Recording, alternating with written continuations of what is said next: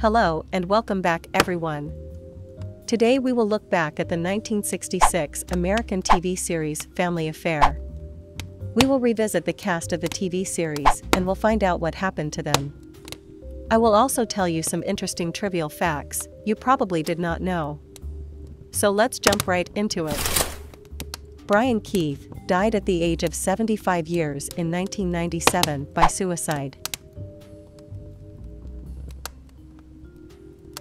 Kathy Garver was 20 years in 1966 and is 77 years old in 2023.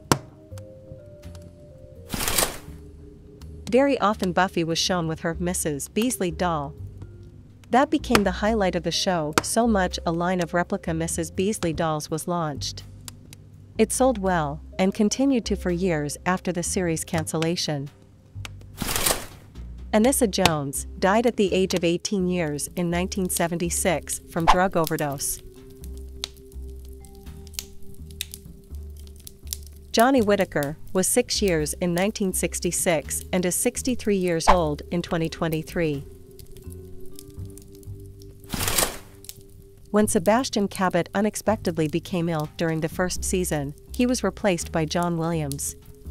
It was explained that Giles French was summoned to England by the Queen, and his brother Niles filled in at the Davises' doorstep. Sebastian Cabot died at the age of 59 years in 1977 from stroke.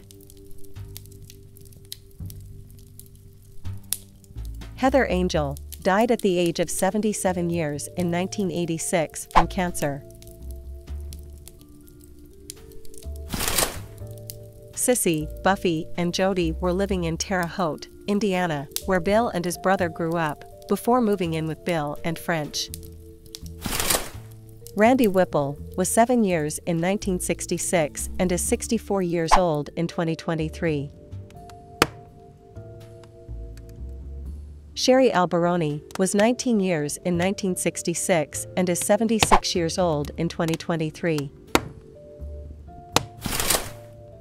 The show almost moved to ABC following its cancellation, but the idea was nixed because that network already had a show with a similar theme, The Brady Bunch. Joan Vohs died at the age of 73 years in 2001 from heart failure.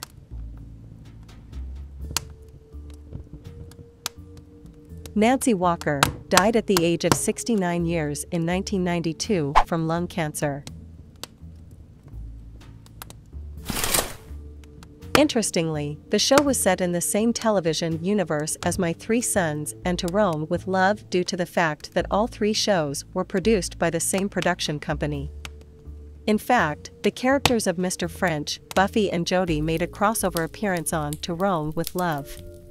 However, none of the cast from Family Affair ever appeared on My Three Sons.